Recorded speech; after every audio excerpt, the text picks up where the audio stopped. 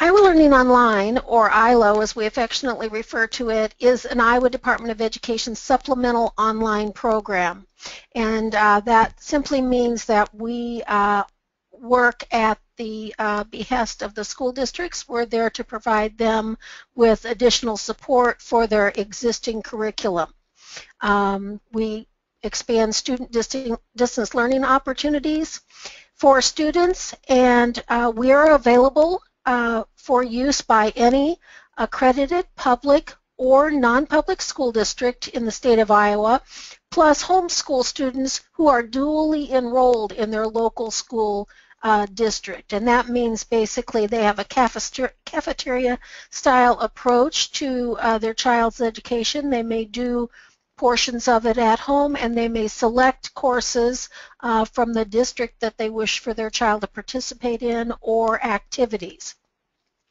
Uh, with Iowa Learning Online, local schools and districts award their students the credits based upon successful completion uh, of the ILO course. We send a percentage score to the school districts.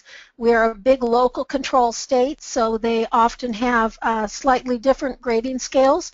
So uh, whatever our 92% is to us may not be the same to every district across the state. Uh, so we allow them to do that uh, offering of credit. Also, every district must provide a student coach, which is a liaison uh, between our teacher and the parent and uh, the student in the school district.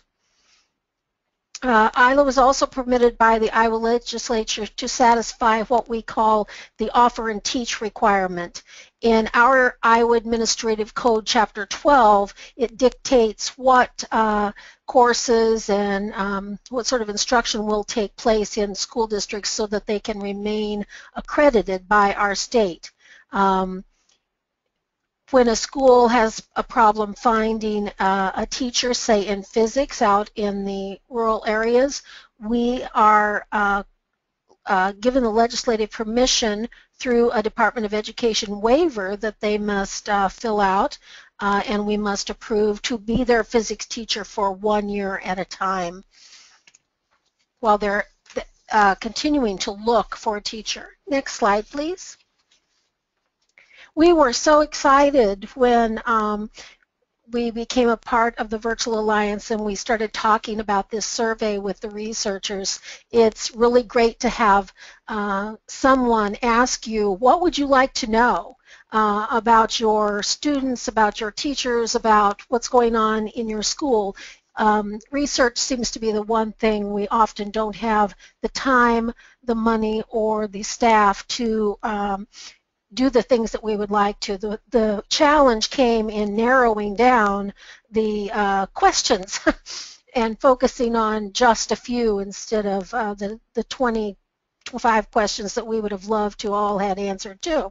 But we together as a group uh, and in the alliance came to um, an agreement and I think we were all very very happy about its uh, the way it has turned out. ILO administered the survey to its online teachers in the fall of 2014. We had 16 teachers respond to the survey. That was a time, a time period where we were just beginning a tremendous scale up. Um, uh, so now, just in comparison, we have uh, 54 teachers that we could uh, administer that survey to. Uh, and see if the results were any different.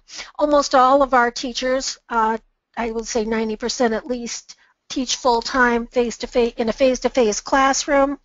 Um, some are retired, some are stay-home parents. Uh, we do allow teachers who are Iowa residents and move out of state. If they continue their Iowa licensure, they can continue to teach for Iowa Learning Online. Next slide, please all teachers reported participating in either in structured or unstructured professional development or training specifically focused on online instruction. Unlike other programs, in Iowa approximately 55 percent of our teachers reported receiving professional development or training prior to teaching online, but after pre-service but after pre-service education, and approximately 60 reported participating in professional development while teaching online. Similar to the other programs, few reported receiving training during pre-service education.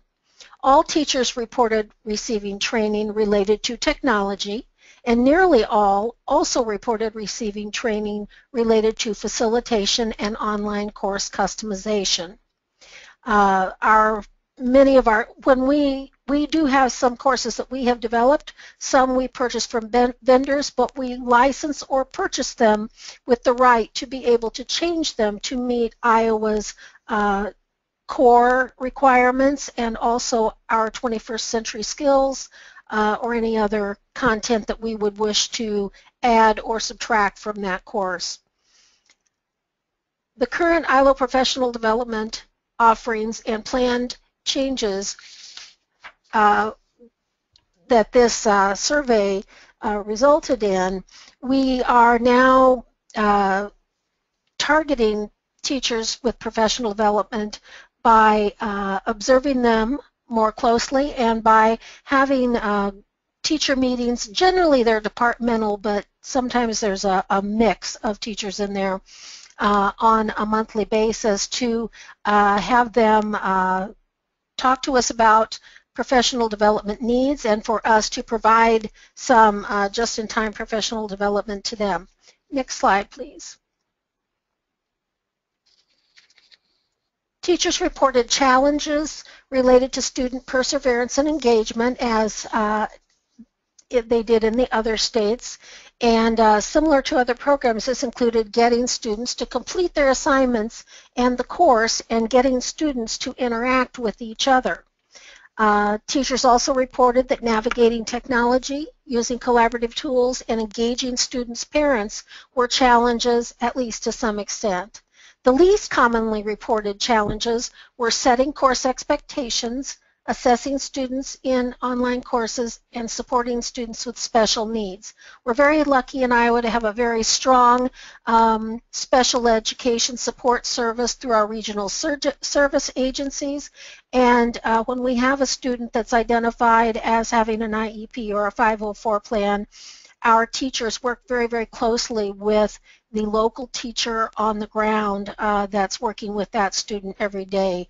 Um, also, we uh, knowing that that uh, engagement, excuse me, and perseverance was a challenge, and we also know from research that early and continued engagement is a key to uh, successful online learning. We began to conduct uh, uh, weekly what we call web checks. Uh, and this lets us know immediately uh, when a student is falling behind, when a teacher possibly is not engaging. So we use that data to work um, with our teachers, with our students, with our coaches uh, in the district, and sometimes with parents to keep that student engaged. And we've noticed a significant difference in the drop uh, fail rate um, just in one semester from, from uh, that work.